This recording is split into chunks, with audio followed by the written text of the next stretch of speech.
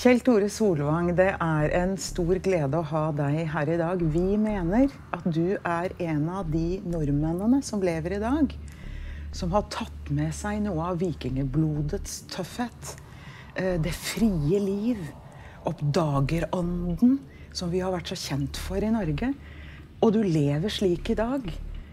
Du er en mann som vet mye om det å vinne. Du har vært landslagssjef og roer også i kajakklandslaget i Norge og vunnet tre OL-gull, fire VM-seire, fire EM-seire. Du er også en jeger. Du er en friluftsmann som jager etter det frie liv. Du eh, er den eneste nordmann som har rodd Norge på langs. Og du er foredragsholder for næringslivet og forfatter. Du har også opplevd noe veldig stort, og det er at du var en av Helge Ingstads venner. En av våre siste store ehm, kan du si, oppdagere, i grunn. Kan du fortelle litt om, om dette? For mange mange år siden, da min bror og meg lurte på om vi skulle padle en lang elv i Canada i 1992, eh, da ringte jeg til Helge Ingstad eh, for å spørre om jeg kunne få lov å treffe han. Og Det var et stort skritt for meg bare å ringe til denne mannen her, for jeg kjente jo han ikke. Jeg har bare lest om han og en av mine helter når jeg var en liten gutt. Uh, da husker jeg han sa til meg Har du kjøpt billett? Så sa jeg jeg har kjøpt billett. Ja, da er du velkommen. Og Det forklarte han seinere med at det var veldig mange som ringte til han, for de ville spørre og liksom leve gjennom han. Men det hadde han ikke tid til. Men hvis du hadde kjøpt billett og faktisk skulle dra, da hadde han alltid tid til deg. Så jeg var heldig og fikk besøke Helge Ingstad fire ganger. og hver gang må jeg si var like spennende. han inspirerte mange, og han inspirerte meg. Det gjorde han. Helge Ingstad var jo en av våre spennende oppdagelsesreisende i moderne tid. Eh, det var jo han som fant vikingstedene på Newfoundland over i Canada. Og kunne dokumentere at vikingene reiste helt til Vinland. Og vi er en nasjon med sterke røtter i troen på spennende menn som våger å leve det frie liv og bryte alle grenser, være selvstendige. Og en annen person er jo også Thor Heyerdahl. Han var jo også en som brøt med alt det forventede og tenkte nye tanker. Så det er klart at vi nordmenn har noe i oss fra historien som gjør at vi passer godt til det frie liv.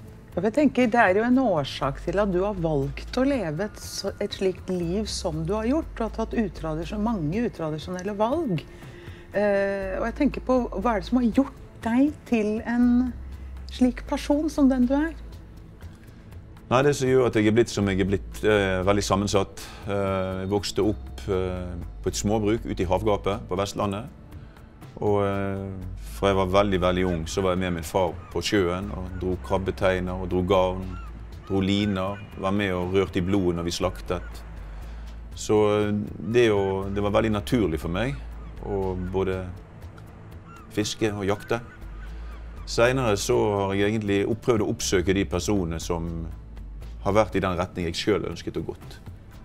Det er et ordtak som heter at jeg gikk på en vei, veien delte seg i to. Jeg valgte den minst brukte. Det gjorde hele forskjellen. Jeg tror jeg er litt der. Jeg har uh, stolt på, på, på, hjertet mitt og tenkt at det er dette jeg har lyst til å gjøre, det er dette som gir meg glede, det er dette, jeg, det er dette som er meg. Istedenfor å liksom gå inn i flowen og følge alle andre der det gjerne er tryggest å være. da. Og jeg husker jeg fikk et brev av Helge Ingstad, som jeg for øvrig ble kjent med. Og fikk besøke fire ganger, der han skriver at uh, hvor kjekt det er å se, Kjell Tor, at du er til stede i eget liv. Og liksom det, det er en god beskrivelse på det å ikke bare følge etter alle andre, men, uh, men tørre å stole på seg sjøl. Så uh, vi snakket jo litt om mot. Helge Ingstad var jo jurist i Levanger. Eh, og I 19, midten av 20-tallet så solgte han praksisen sin. Han fortalte meg at da hadde han altfor mye penger. Og pengene hans de gjorde at han, livet hans ble faktisk forandret, eller han ble forandret som person. Han ble en person som han egentlig ikke hadde lyst til å være. For han òg traff veldig mange mennesker som da hadde det samme. Så han valgte da dro til Sør-Amerika og var der en stund og koste seg. Og så dro han opp til Edmonton, som den gang hadde ca. 60 000 innbyggere. Dette her var vel i 1926. Der han da brukte pengene sine på å kjøpe et hundespann, hunder og utrustning for en vinter. Og så dro han på lykke og fromme inn i ødemarken i Canada og fangstet og satte jo livet på spill. De hadde ingen kart. Så han, han eh, navigerte bare etter stjernene og beskrivelser som han fikk av indianere på et papir eller på et barkstykke. Så han visste jo aldri om han kom igjen. Og liksom, Det var så fascinerende å høre dette, disse historiene hans. da. Så jeg vendte tilbake inn i 92 og padlet floden Tilon fra eh, Store Slavesjø og ut til Hudson Bay. Det var jo da 1000 km som jeg padlet sammen med min bror Svein Egil i 1992. Så dro jeg tilbake igjen i 93, året etterpå, og levde sammen med inuittene et halvt år ved Baker Lake. Eh, og det var å se det frie livet der, se kulturen de hadde. det var spennende å gi meg liksom tro på at det er fullt mulig å leve annerledes enn det vi gjør her, selv om naboen av og til lurer på hva i all verden vi driver med.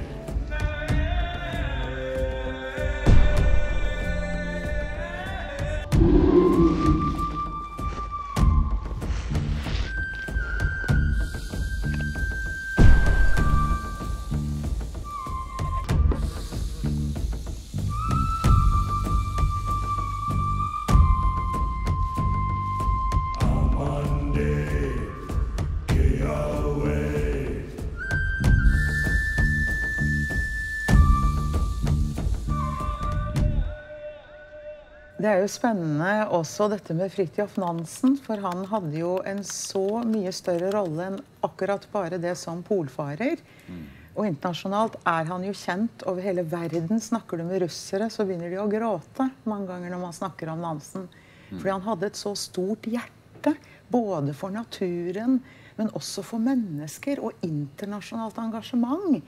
Og du har jo også kommentert det at Nansen var veldig tydelig på at han mente at noe ved det moderne samfunnet gjorde at ungdommene mistet karakteren. Han snakket om behovet for selvtukt. Og han snakket om behovet for viljesmenneske. Og han hyllet jo det frie liv. Kan du si litt om det? Dette ser vi veldig i idretten, f.eks. De som driver med toppidrett. Dette her viljen til å ha det vondt nok. Altså Gode resultater det får du hvis du er villig til å legge ned hardt arbeid. Og enda bedre resultater får du hvis du er villig til å legge ned enda hardere arbeid. Så det er liksom en sånn balanse mellom hvor mye du vil investere og hvor vondt du vil ha det. Og jeg sier det at det, du fortjener ofte det resultatet du får. Og Nansen mente vel òg det at i dagens, kanskje i tiden etter han da, så så han en, kanskje at uh, vi begynte å bli uh, Fjerne oss mer og mer ifra det som var kanskje råskap. da. Og at vi blir mye, duller mye mer. I, i, I, barnehagen i dag så får du blir omtrent satt inn hvis det løper et barn uten hjelm, og du kan ikke gå et klatrestativ uten sikkerhetssele. og Vi har liksom fjernet oss fra det som, var, det som var oss. Og jeg tror vi blir et mye mer pinglete samfunn enn det vi, enn det vi skulle, jeg skulle likt at vi var. Jeg skulle ønske at vi var et mye mer robust samfunn der vi lærte ungene våre å klatre i trær og ikke hadde den pakket inn altfor mye. Og Det er jo en av grunnene til hvorfor vi også er opptatt av eh, den norske kulturarven. Hvilke verdier representerte oss historisk? Hvilke holdninger bidro til å gjøre oss den gangen til et sterkt og i grunn fryktløst samfunn? Vi syns kanskje at i dag er det mye konsensustenkning. Alle skal være like. Det er jantelov. Og det er jo en, en voldsom frykt nesten også for å snakke om vår egen kulturarv. Av, av, angst for å fornærme noen eller fremstå på et eller annet vis. Men det er jo nettopp tryggheten i vår egen kulturarv som setter oss i stand til å også møte globaliseringen. Um, og nettopp det er jo veldig spennende med deg, for du snakker også om dette med mot. At vi på en måte har mistet motet. Vi tør så lite. Det å ha mot det er vel den viktigste av alle egenskaper vi har. For det er den som garanterer for alle de andre. Så du kan være hvor dyktig du bare vil. Hvis ikke du har mot til å gjennomføre tankene dine eller drømmene dine, så stopper jo det der, da. Så mot er jo noe som vi, vi er bare nødt til å ha. Og noen har det mer enn andre. Eh, jeg ble jo òg spurt hvorfor jeg var så dum og ville ta den sjansen på å ro fra Sverige til Kirkenes. Eh, men jeg trodde jo alltid at det var mulig å gjøre det. Og det er jo en rotur på 3300 km. Og det hadde ikke vært gjort før, og det trigget jo meg enda mer å gjøre det, selvfølgelig. Og veien blir til mens du går, så hvis du bare er villig til å jobbe hardt nok og lide hardt nok, så kommer du som regel gjennom. Du skrev en bok i etterkant, og den heter 'På viljen løs', og kan jo anbefales. Ja. Eh, det som jeg la veldig merke til på roturen min da, det var jo når du rodde oppover langs kysten, alle disse gårdsbrukene som var nedlagt. Eh, det slo meg at jeg rodde forbi gard etter gard etter gard, med der gresset da var Det var ikke slått. Og det blir ikke slått. Og det gror igjen. Så det som eh, våre forfedre, generasjonen før oss, har slitt ut ryggene sine på gjennom flere generasjoner, det ødelegger vi på ti år. Bare for at det ikke er nok profitt i det. Og jeg syns det var utrolig trist. Og jeg husker jeg rodde gjennom Tjeldsundet fra Løddingen opp når jeg hadde krysset over Vestfjorden. Så plutselig kjente jeg en sånn deilig lukt bak meg. Og når jeg snur meg, så har de altså slått den gården. Og den, den, den lukten som da var av dette, denne gården som var slått, det minte meg tilbake om guttedagene mine når jeg var med og hesjet. Så det var så flott å se at det iallfall var noen da. Men det er liksom betenkelig synes jeg, å se at vi går i den retningen at flere og flere mennesker flytter fra distriktene våre inn til byene. Det bor færre og færre igjen på landet. Og over stemmeseddel så blir jo de som bor på landet, da, de blir jo da stemt ned. Sånn at det blir de som bor i de tjukkeste byene, som bestemmer hvordan de skal ha det ute på landet. Et eksempel på det er jo rovdyrforvaltningen vår. At vi som bor inne i byene, vi skal bestemme om de som bor der ute, skal få lov å eksistere der eller ikke. Jeg syns det er absolutt betenkelig.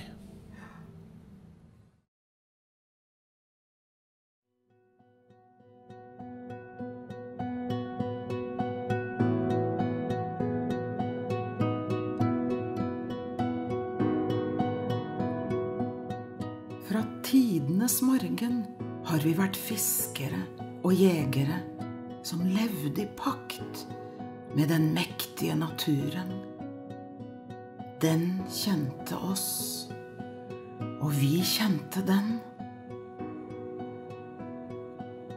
Det er en spesiell harmoni i naturen. Her finnes det en unik fred. En velsignelse. En dyp, beroligende glede.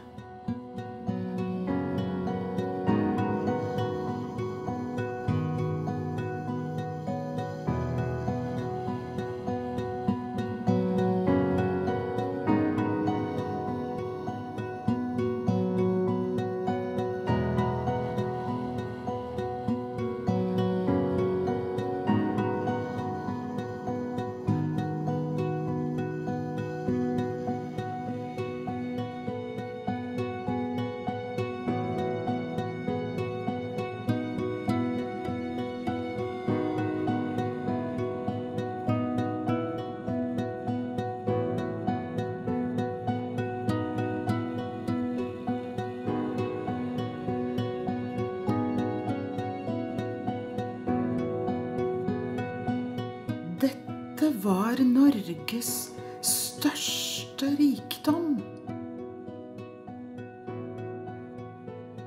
Hvilken skjønnhet, hvilken renhet. Den ukorrupte, majestetiske og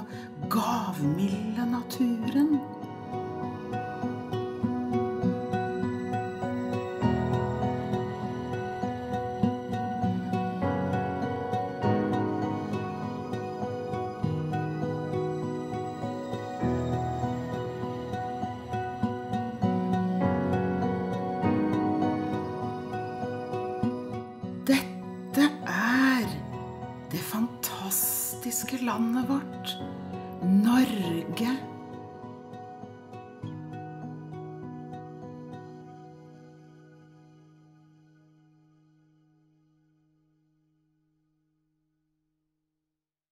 Jeg tenker på den roferden, og du eh, foretok jo den helt alene.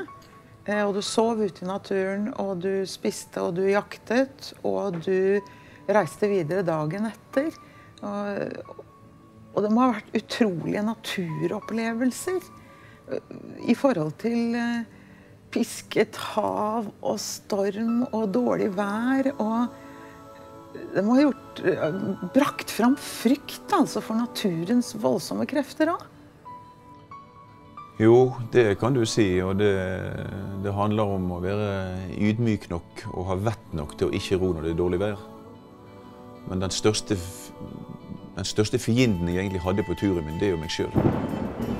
Hvis, hvis, jeg kjenner meg sjøl godt nok, så vet jeg at uh, i dag ror jeg ikke. Det som kunne være vanskelig, det var når jeg skulle krysse de største havstrekkene, så det gjerne tok syv-åtte timer å ro over. Og hvis det da begynte å blåse opp når du var midt ute i en sånn liten båt som jeg hadde, så uh, fikk jeg problemer. Og En gang holdt jo jeg virkelig på å forlise, og en annen gang så var det så vidt at det gikk. Bortsett fra de to så klarte jeg meg egentlig ganske rimelig bra. Hva er det du finner i den ville naturen som tiltrekker deg, som du ikke finner i de store byene og i det ultramoderne? Og det er så masse at det er vanskelig å sette ord på det. Men det er jo egentlig fra du begynner å ro til du kom til land, så var jeg 90 dager i, i pakt med naturen. Da, der det var både det å, det å skaffe maten sin sjøl, f.eks. Det å slippe å stå i kø på en matbutikk og bruke penger hele tiden. Det å ha en liten båt. Eh, jeg hadde ingen utgifter på bensin, for jeg rodde jo. Eh, jeg fant, alltid, fant, meg alltid mat. I mai, når jeg begynte å ro, så spiste jeg egg. Da tok jeg egg fra, fra måsereir, eller fra ærfuglreir. Og da gjorde det sånn at hvis jeg så at det bare lå to eller tre egg der, så spiste de, for da visste jeg at de var ferske. For da holdt jo fuglene på å legge egg. Men var det fem-seks egg der, så kunne de være gamle. Så da måtte jeg eventuelt ta de i en bøtte med vann. Og hvis de da sank, så kan du spise dem, men hvis de flyter, så kan du ikke spise dem. Og så var det selvfølgelig fisk underveis. Når jeg kom lenger nordover, så skjøt jeg sel.